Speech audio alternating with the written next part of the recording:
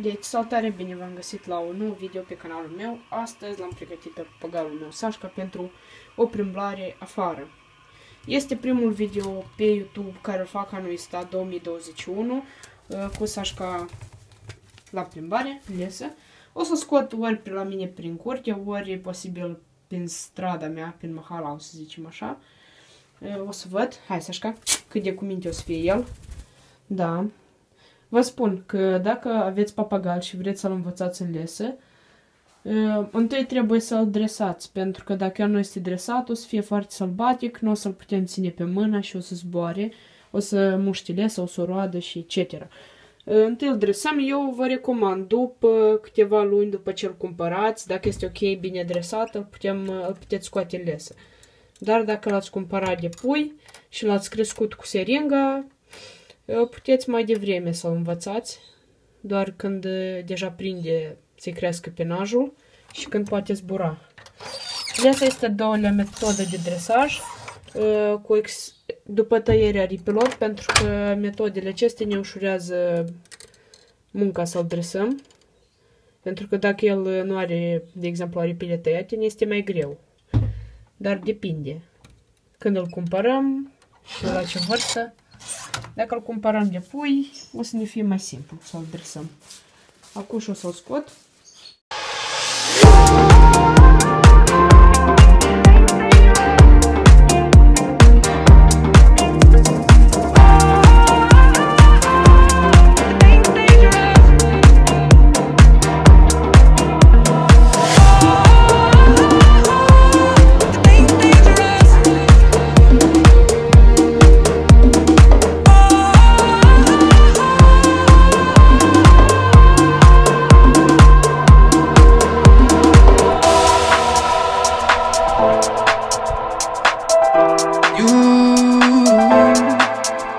Take me down, spin me around. You got me running all the lights. Don't make a sound, talk to me now. Let me inside your mind. Don't know what you're thinking, sugar.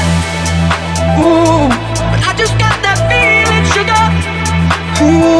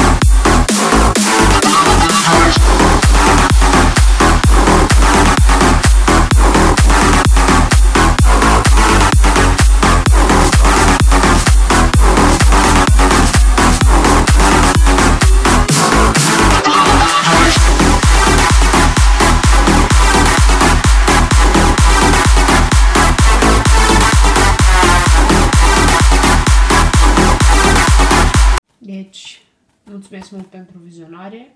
Dacă v-a plăcut video, dați un subscribe, share și ne auzim și data viitoare cu un nou videoclip.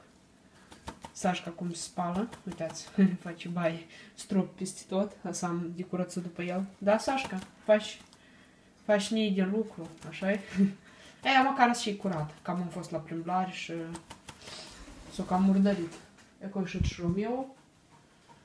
Bine, papa, la revedere și succes tuturor!